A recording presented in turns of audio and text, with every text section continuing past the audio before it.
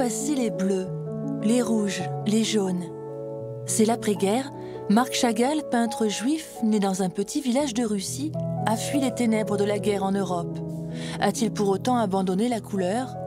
La réponse est non, pas vraiment. Elle est là, à côté, à l'intérieur. Il ressent la nécessité, après quelques années passées en exil euh, aux États-Unis, face à euh, quand même des mouvements artistiques qui, qui, qui représentent aussi une concurrence, de se redéfinir, de se réinterroger, de se re-questionner, et donc aussi de re-questionner la couleur.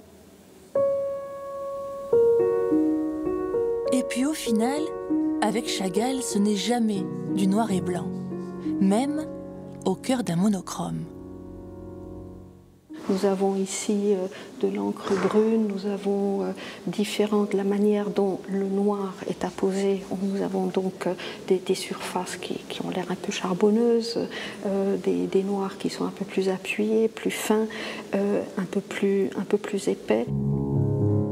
Désormais installé à Vence, Chagall explore les volumes, la céramique, le marbre.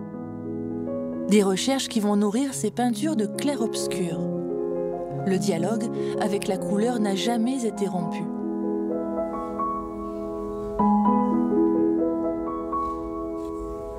Les bleus, les rouges, les jaunes font leur grand retour, une réapparition monumentale, quasi surnaturelle.